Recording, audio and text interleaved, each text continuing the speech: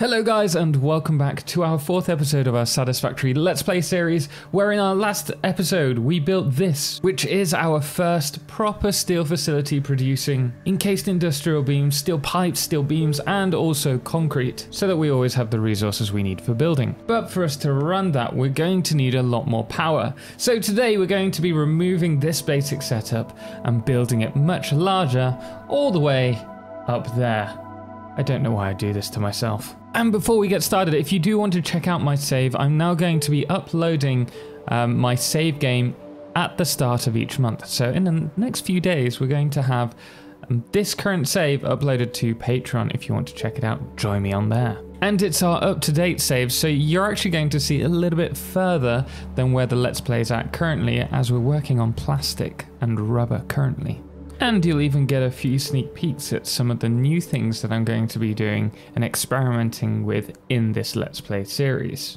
Factorio style piping for anyone? When I first built this little steel factory just to get us started, we had an influx of coal. So we have, I think, enough for two generators heading over to the uh, the coal generator area currently, and I'm using that just to give us a little bit of a buffer for power while we work above. Uh, but the first thing that I want to do with all of this is get more coal for us. And thankfully it's not actually that far away. So you can you can see we've got the coal here, but our next nearest one is just in front of us.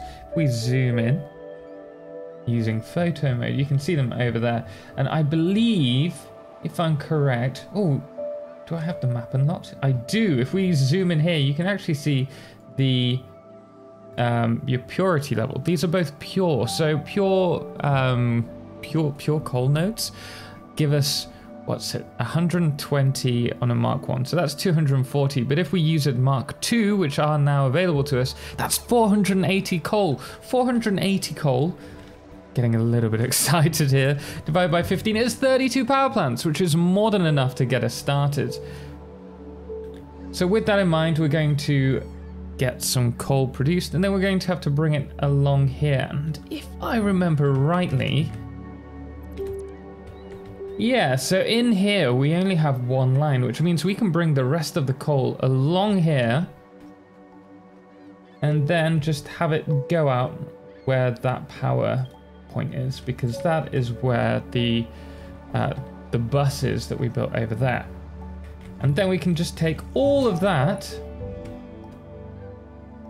across this bus and somehow we're going to have to move it up to the top, but we'll worry about that once we've got that sorted. So our first stop is to build two of these, or two more at least. There we go, and then we'll grab these. And I want these heading straight. In fact, it would be really good to know where. Okay, so we want it in line with these. That's just going to give us a, an idea as to the positioning. So that's perfect. And then we'll do the same over here. Then we're going to do the same as we did before, which is grab a beam, uh, a road barrier, sorry. Place that on the front of these. Hmm, I think I used the wrong walkway. So let's go with one of these.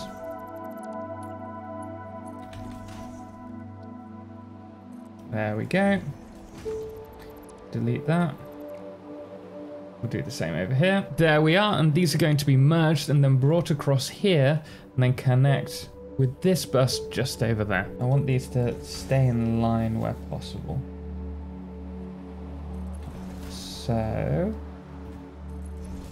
And these are just going to run all the way across to here. We will need to add some supports, but I'm not going to worry too much about that just yet.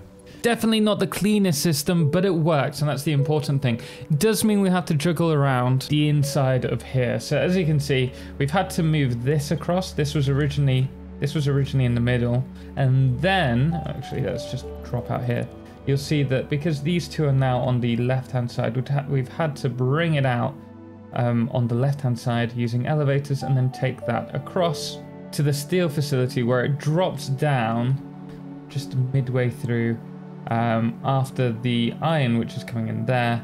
I will actually move this line to the this line here, but for now we still need all the power to run to keep the factory running. So until we're ready to move the coal to the next power generators, we need to leave these alone. Also, um, I did actually add a few more. So we upgraded these to Mark II miners, and that is why we've been able to extend that. But it's not enough, we need more! The most difficult part of this build is actually going to be the logistics, getting everything, both the coal and the, the water, up to the top, because that's going to require pumps, uh, or for coal elevators. And with the elevators, we're kind of bringing it and wrapping it around, trying to keep it relatively close to the wall so that it's not looking like it's standing on its own. And it's also going to allow us to connect it to the wall, uh, like the cliffside, to make it look more supported. It's coming across slowly, but we are getting there. I'm liking how it is. And uh, the next thing for us is going to be to plan out the top. After a few hours, we've managed to get the conveyors up here, and this is the, the start. So we're going to run the foundations probably across pretty much the whole area here, because we're going to need probably about 40... Oh, we're already out of resources. That's not good. Uh, we're, we're going to need probably about 40 coal generators which means we'll, we'll do probably two lines of 20 if that works out. Um, yeah. More resources. Have we got some down here? Nope. So I'm going to go back to the base and afterwards we're going to hopefully have some pillars along here to make it look all supported. Also, the logistics are all going to come up to this floor here. So you can see this is where the coal's coming in. We're also going to have the water come up through here. Oh, kind of like that actually. I like the idea of having cutouts with. Ooh, almost jumped in, or, or jumped out even. Yeah, we could do. That. Yeah, have like kind of dog teeth for the architecture just along the front side. That could look kind of cool.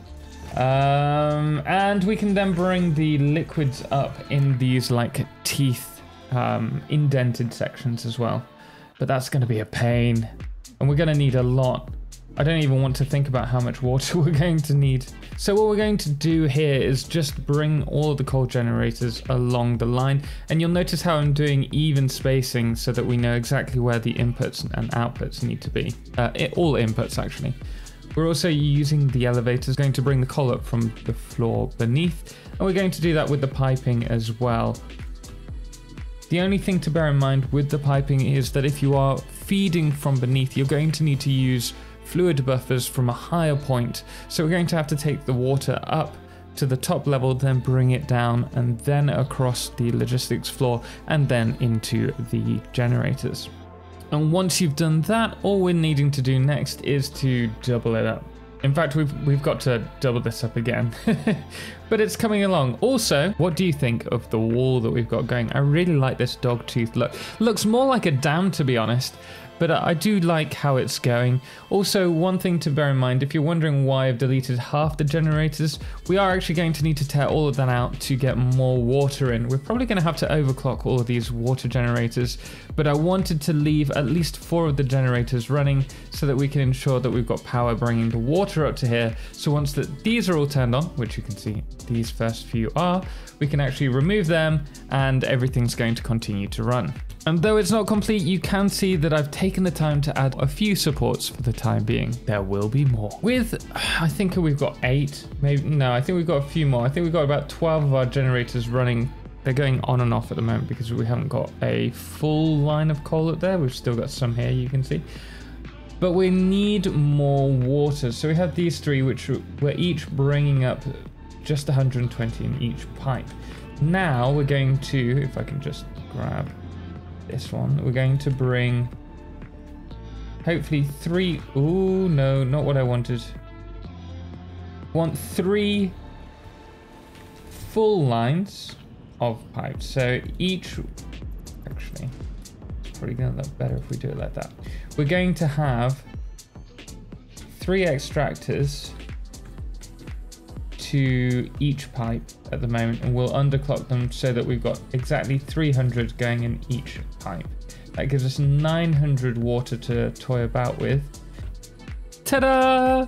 So we now have all 900 water going into those and they're all being pumped up to the top to all of those power generators.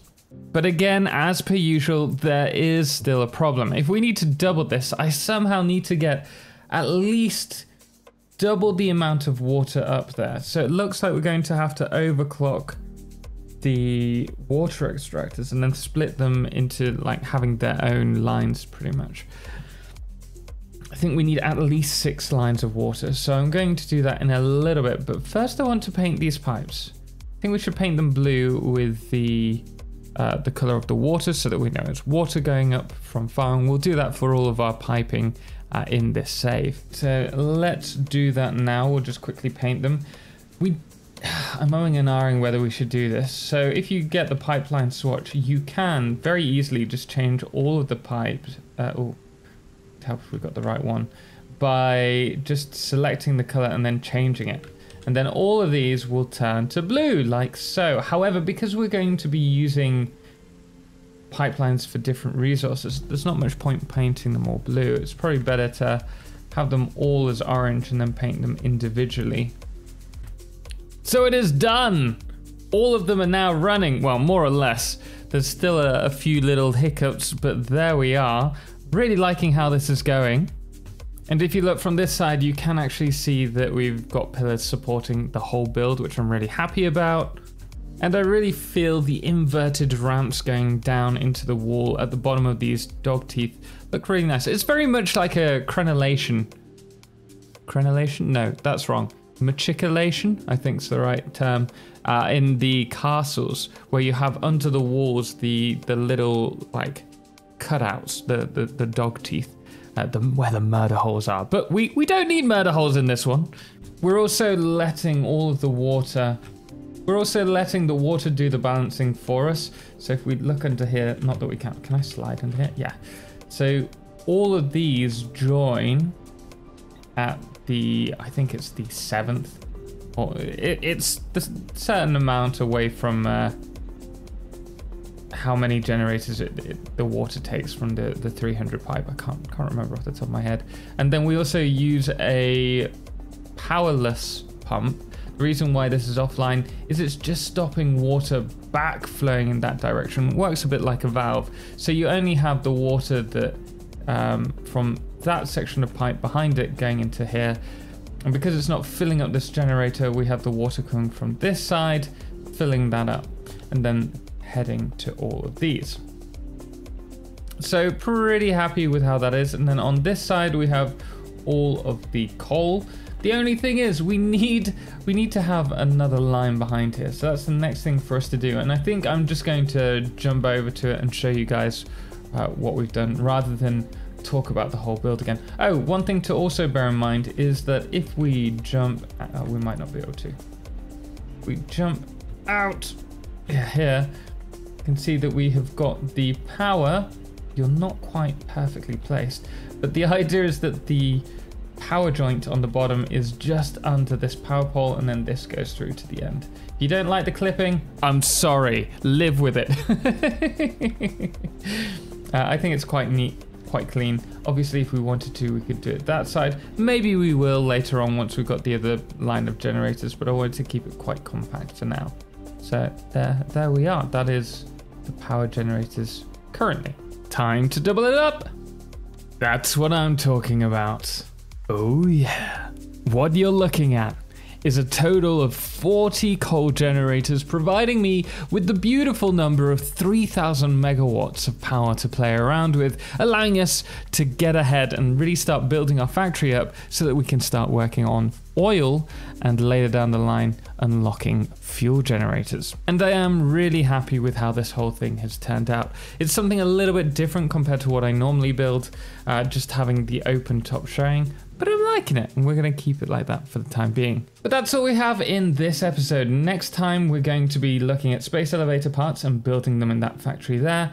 And we're also going to be looking at this Hypertube launcher and talking about that. But until next time, thank you so much for watching and thank you so much to all of our amazing supporters, most notably our Solar Eclipse patrons, Cerebral Tag, James Owen, Fireflesh, Jerry 2, as well as our Lunas, The Calamity, Dixie Chris and Ben, and our Blood Moon, Haley. Oh dear, we overshot. Until next time, as always, ciao for now.